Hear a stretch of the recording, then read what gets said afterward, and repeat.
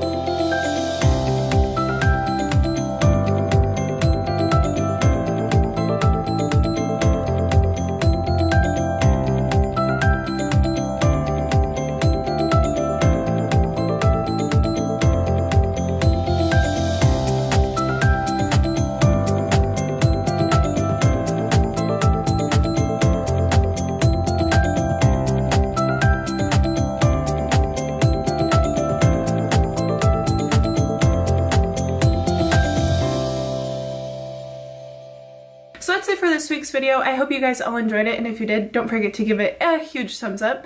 And also, if you want to see more videos like this, don't forget to subscribe to me down below if you're not already and I'll see you in my next one. Bye guys!